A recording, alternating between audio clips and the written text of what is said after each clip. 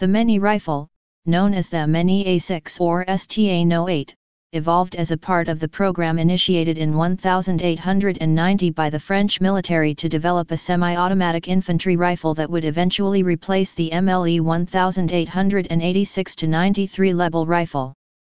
Four government research establishments, STA, ANT, Puteaux, and CTV, proposed over 20 prototypes. About half of them were based on recoil, both short recoil and long recoil, and the others were gas-operated. This secret program was placed under the direction of General Naquet who headed the Puteaux, APX, government arsenal. History Shortly after the adoption of the Lebel 1886 and its revolutionary ammunition, two brothers, Clair, built a semi-automatic shotgun in 1888, an 8mm semi-auto pistol in 1892, and prototypes of semi-auto rifles were made in 1894. In addition, the adoption in 1888 of the German Commission's Gewehr with its rimless cartridge had shown the obsolete design of the French 8x50mm rimmed case. Programs were initiated to design a new cartridge and a new rifle. Cartridge development the Section Technique de l'Artillerie, STA, developed various rimless high-performance cartridges from 1890 to 1912.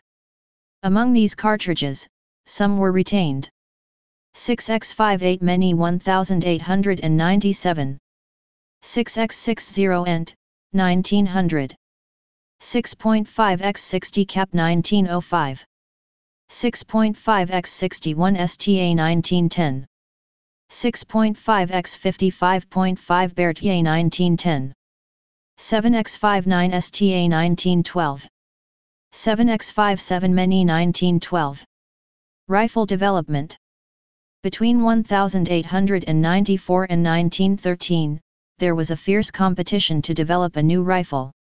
They were tested by Section Technique de l'Artillerie, Artillery Technical Section aka STA. Rifle A1 later redesigned as Rifle A4. Rifle A2 STA5. Rifle A3 STA6. Carbine A4. Rifle A5 STA7. Rifle A6 STA8, 7mm Meunier Rifle. École Normale de Tir, National Shooting School aka ENT. Rifle B1, ENT 1901, System Rossignol. Rifle B2, System Rossignol. Rifle B3, ENT 1902, System Belgrand. Rifle B4, System Rossignol. Rifle B5, System Rossignol.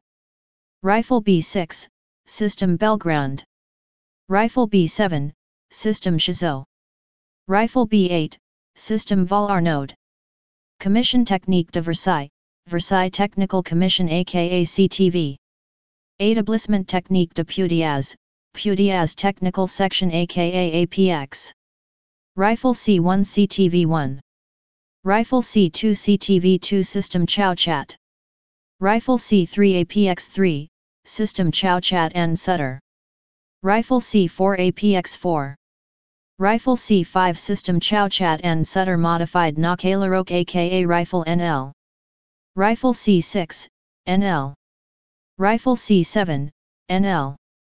Rifle C8 System Chauchat and Sutter aka Indo-Chinese rifle due to its shorter size, developed to arm indigenous troops in Indochina.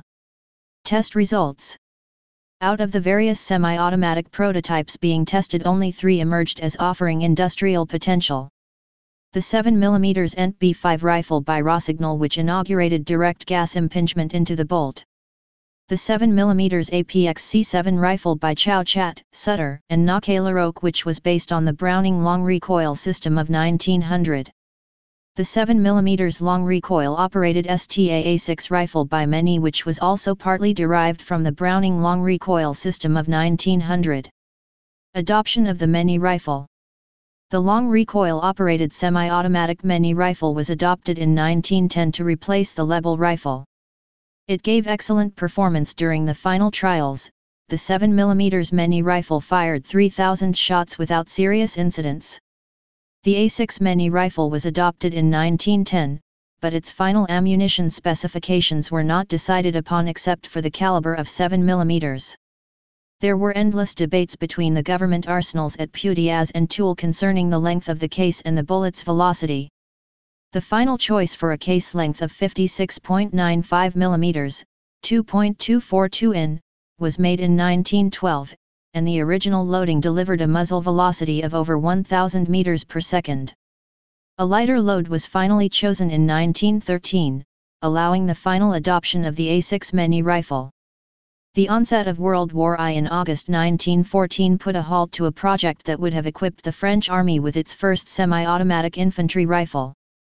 Ammunition The rimless 7x59mm Meunier round was substantially more powerful than 8mm Lebel. The 7x59mm Meunier had a muzzle velocity of 3,412 feet/s, 1,040 m/s. It had a steel core as well as the 7x57mm, 7.2x56.95 mm, adopted the same year and retained later for the Meunier rifle of 1916 with a velocity reduced to 2,690 feet/s, 820 m/s. Atelier de Construction de Puteaux near Paris manufactured the cartridge, most of the rare samples known are marked APX 1917.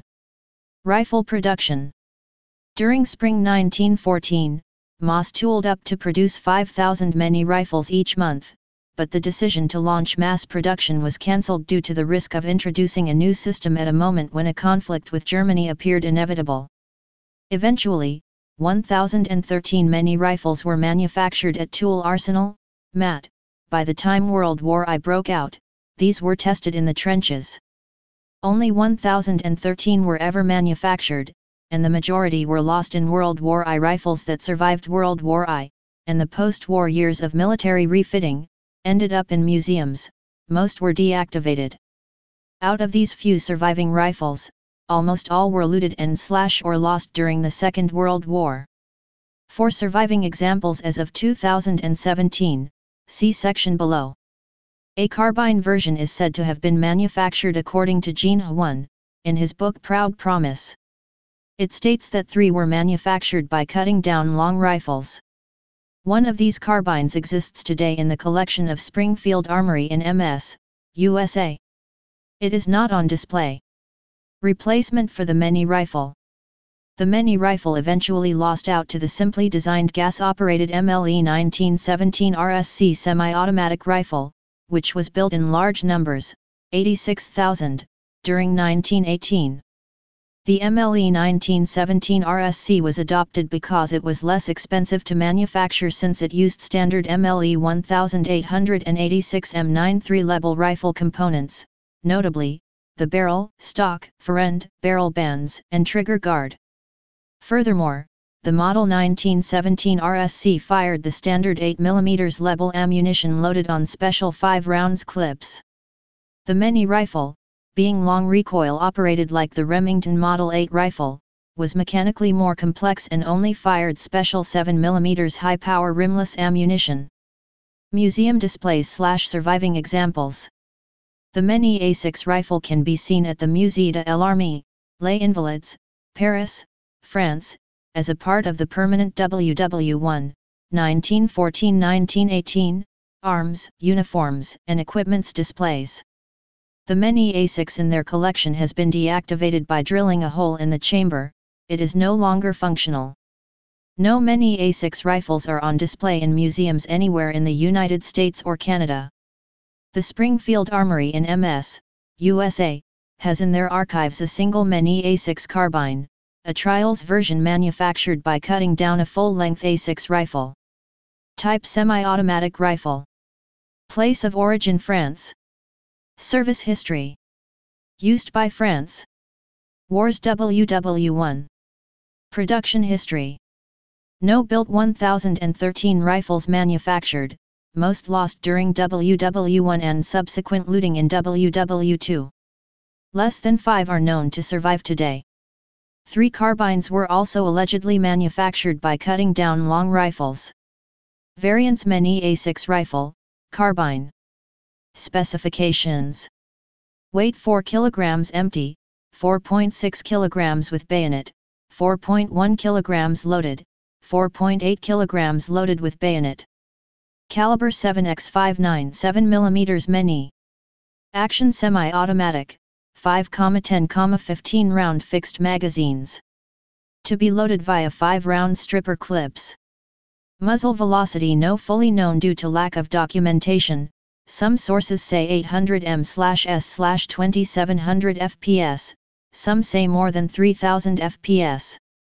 Feed system 5,10,15 round internal magazines, fed with 5 round clips. Sights open iron sights. Please subscribe and thanks for watching.